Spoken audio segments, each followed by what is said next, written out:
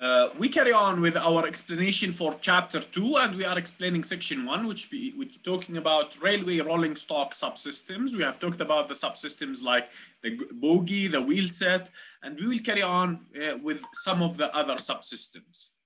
So we, in the previous section, we talked about the bogie, and now we'll be talking about the wheel sets. The wheel sets ha- can have different types and the monoblock is the famous type where the whole uh, uh, uh, wheel is casted as a one block. Sometimes some systems would use a tire block, and this is for light rail or guided buses. The function of the wheel sets is to do torque transmission.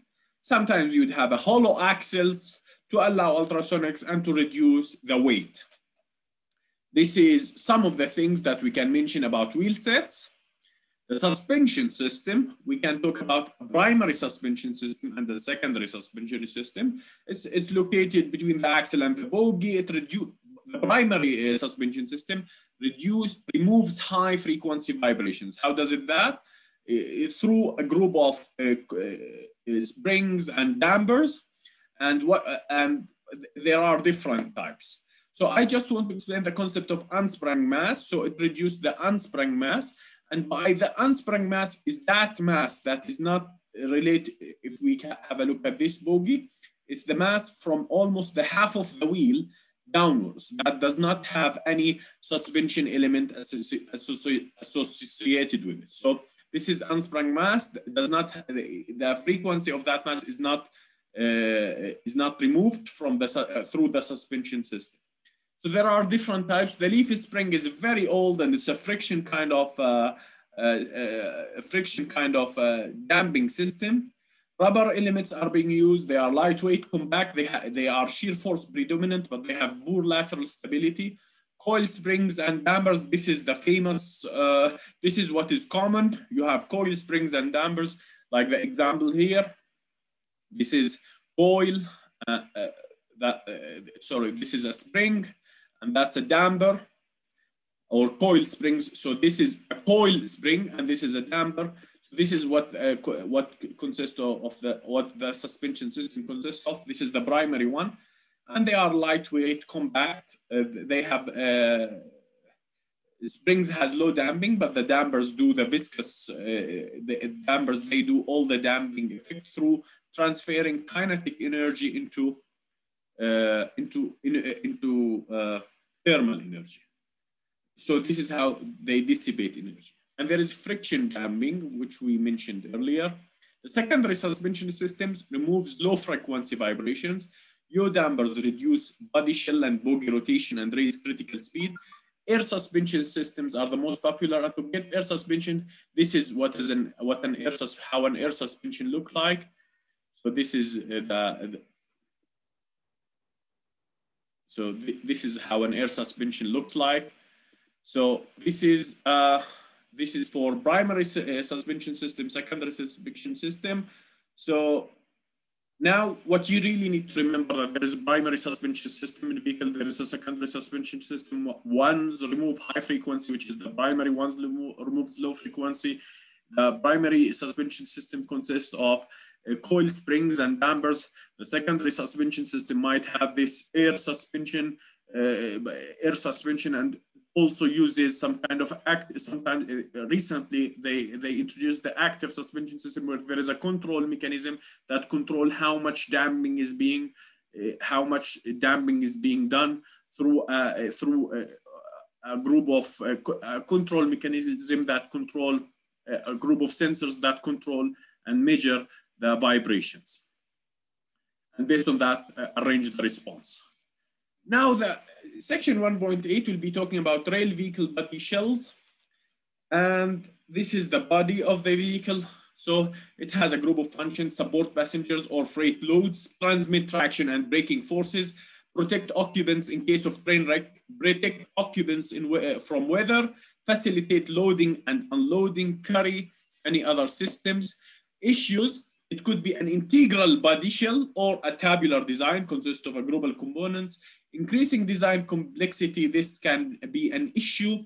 Lightweight operations, it is encouraged that you have a lightweight body, but a robust body. So what are the materials that you use? Steel and aluminium are the most common ones. Aluminium is being used more, carbon steel versus stainless steel because aluminium is lighter, and aluminium for light rail. Composites, sometimes it's a mix of both.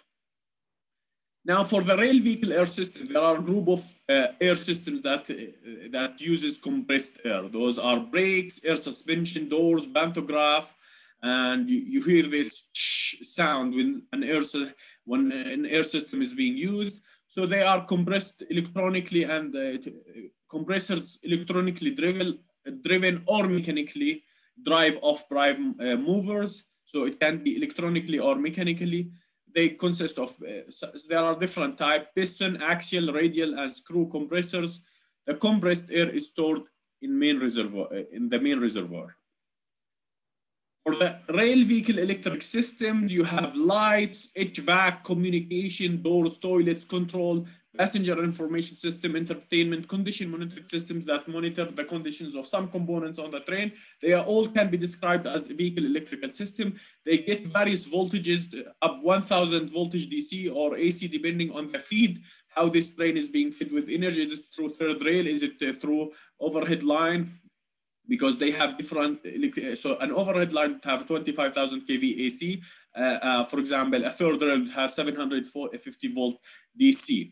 And for example, an induction motor, the AC motor will take uh, 450 volt three-phase AC, uh, and the power supply for entertainment system would produce something like 240 volt AC and sometimes you would you be using 110 volt DC. So there are there will be various voltages that is being transferred through power electronics and other uh, converter devices to make sure that all the electrical systems are working according to the right voltages and uh, according to the voltages that, that they require. Rail vehicle power collection. How does the vehicle collect power? There are two. Uh, if it's electric, if it's uh, if it depends on electric and not, not diesel, then it will collect through either pantographs or shoe rail. And pantographs it collects from the overhead line. It's like a, a, a an arc that uh, with a contact uh, with a contact force that is touching that line, or it can be through a shoe rail, which is touching a third rail, and that uh, and collect the energy from that third rail. Uh, uh, some of the issues that while collecting power, the contact force between the pantograph and the overhead line can be different from one country to another. And high-speed trains can have uh, can have wings, some kind of support to control the pantograph and to control the contact force. Tilting trains need to keep the pantograph upright. When the train tilts, the pantograph should stay up, upright and carry on with its journey. So I think we'll carry on talking about doors and the other system on the next section.